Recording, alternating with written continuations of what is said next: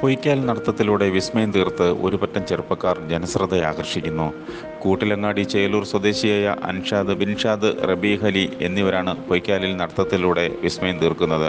ചെലൂരിലെ ശിഖാർ ഗുരുക്കളുടെ കളരിയിൽ നിന്നാണ് ഇവർ ഈ അഭ്യാസം പഠിച്ചെടുത്തത്. വർഷങ്ങളായുള്ള നിരന്തര പരിശ്രമത്തിനൊടുവിലാണ് ഇത്തരത്തിൽ പൊയ്ക്കാൽ നടത്തം ഇവർ സാധ്യമാക്കിയത്. രണ്ടായിരത്തി നാല് തൊട്ടാണ് കളരിപ്പയറ്റ് മേഖലയിലേക്ക് കളരിപ്പയറ്റ് പഠിപ്പിക്കാൻ തുടങ്ങുന്നത്. രണ്ടായിരത്തി നാല് തൊട്ട് തന്നെ കളരിപ്പയറ്റിലെ ഒരു സ്പെഷ്യൽ ഇനായിട്ടാണ് ഈ പൊയ്ക്കാൽ നടത്തം പ്രാക്ടീസ് ചെയ്തുകൊണ്ടിരുന്നത്.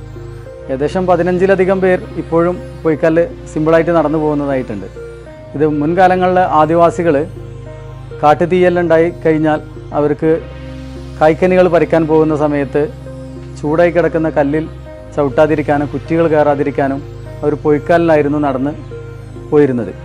ആ ഒരു ശൈലി ഉൾക്കൊണ്ടുകൊണ്ടാണ് നാം ഇത് പരിശീലിപ്പിക്കാൻ തുടങ്ങിയത്. പക്ഷേ പിൽക്കാലത്ത് മനസ്സിലാകുന്നത് ഈ പൊയ്ക്കാൽ പ്ര- പരിശീലിക്കുന്ന ഏതൊരു വിദ്യാർത്ഥികൾക്കാണെങ്കിലും അവരുടെ കാലിന്റെയും കൈയിന്റെയും സ്ട്രെങ്ത്ത് പെട്ടെന്ന് വർദ്ധിക്കുന്നതായിട്ടും അവർക്ക് നന്നായി കളരിയിൽ കുതിച്ച് ജമ്പ് ചെയ്യാനെല്ലാം കഴിയുന്നതായിട്ട് കാണുന്നുണ്ട്. അവരുടെ കാലുകൾക്ക് നല്ല സ്ട്രെങ്ത്ത് വരുന്നുണ്ട്. പ്രത്യേകിച്ച് കാലിന്റെ വിരലുകൾ കുടുക്കിയിട്ടാണ് ഈ പൊയ്ക്കാൽ നടത്തം വരുന്നത്. സ്ട്രെയിൻ വരുന്നതെല്ലാം കാലിന്റെ വിരലുകൾക്കും അതിന്റെ ബാക്ക് മസിലുകൾക്കുമാണ് വരുന്നത്. പരിശീലിക്കുന്ന ആദ്യ സമയങ്ങളിലെല്ലാം കാലിന്റെ വിരലുകൾക്കിടയിലുള്ള തൊലിയെല്ലാം ചെറുങ്ങനെ പോയി. ചെറിയൊരു പ്രയാസം ഉണ്ടാവുമെങ്കിലും. എന്നാലും ഇത് എല്ലാവർക്കും പഠിച്ചെടുക്കാൻ പറ്റുന്ന ഒന്ന് തന്നെയാണ്. ശരീരത്തിന്റെ ബാലൻസ് ആണ് ഇവിടെ വരുന്നത്. ശരിക്കും ഒരു ഒരു ബാലൻസ് ചെയ്യാൻ കഴിയും. ഏത് കുറ്റി കൂടെയും കമ്പിലൂടെയും അതുപോലെ